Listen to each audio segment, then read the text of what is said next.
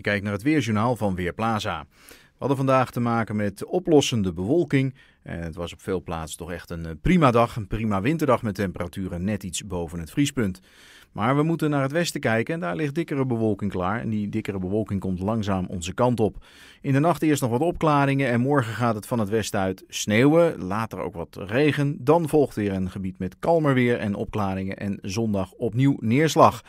Daarna wat winterse buien, dus het is allemaal wat wisselend wat er op ons afkomt. De details. Voor de avond hebben we te maken met brede opklaringen. Hier en daar al wat wolken in het westen. Maar er is verder nog niets aan de hand. En op veel plaatsen gaat de temperatuur al onder het vriespunt komen.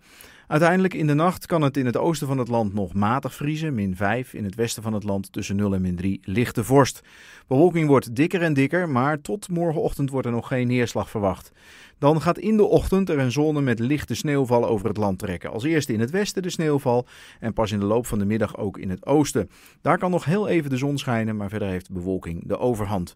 Misschien dat later op de dag in het westen van het land de neerslag ook al wat overgaat in motregen of natte sneeuw. Temperatuur komt over het algemeen op de meeste plaatsen 1 of 2 graden boven het vriespunt uit.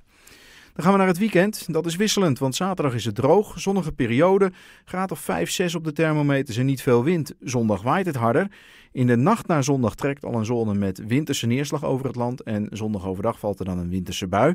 Met tussendoor wel wat zonneschijn. En als de zon even schijnt is het opnieuw zo'n 5 of 6 graden.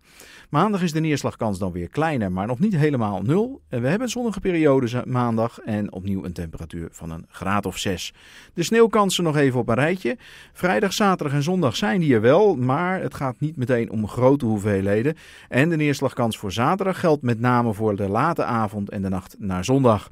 Ook maandag, dinsdag, woensdag blijft af en toe nog wel wat lichtwinterse neerslag eh, mogelijk. Maar we doen dat over het algemeen met temperaturen overdag boven het vriespunt.